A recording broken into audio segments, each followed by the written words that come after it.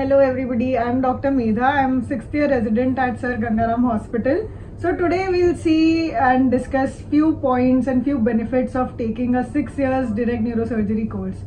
So the number one benefit that I personally feel is that we don't have to give another entrance to get into neurosurgery. It is a single entrance that you give, uh, which is NEET PG, and uh, you don't have to go through the um, what can I say uh, the difficult process of preparing for another entrance and going through counseling and getting into a new state, new college, new hospital, new colleagues, starting a life over, which can be very difficult.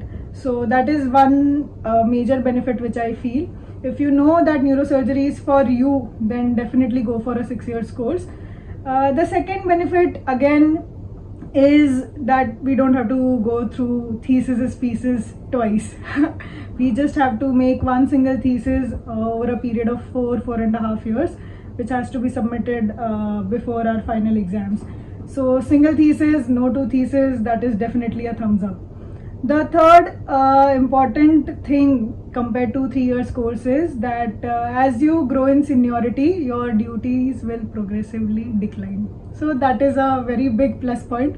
As you grow senior or as you become uh, more senior doing your duties, uh, you will have progressive uh, lesser duties and your juniors will take up most of the work that you do and you will be uh, doing a lot of cream core neurosurgical work the uh, one thing which I feel is very important is that over a period of six years, there is a huge spectrum of neurosurgical cases that we see and we personally manage. So the exposure is very wide. And uh, in a private setup, we learn how to talk to patients, how to manage patients.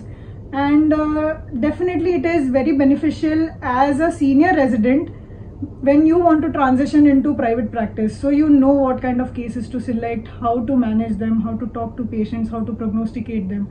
Because in neurosurgery counseling and prognosis is very important. We have to give them a realistic view of the outcomes and uh, we have to prepare the family as well.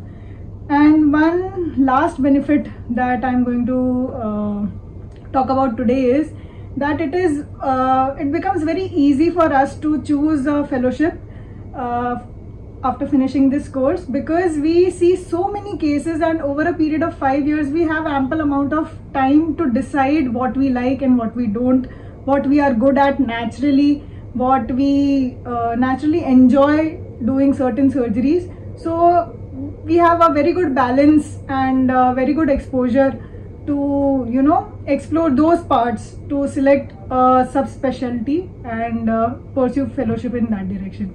So that's it for today. Thank you. Bye